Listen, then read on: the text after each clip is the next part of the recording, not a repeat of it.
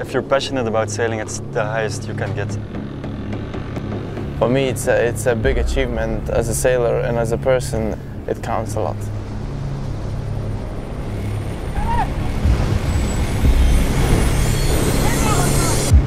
Would you told me two years ago I was winning a leg in the Volvo Ocean Race, I would have told you were crazy.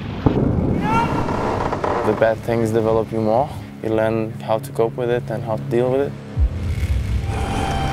There are only a few last seconds left on the countdown. I wanted to leave already, as fast as possible.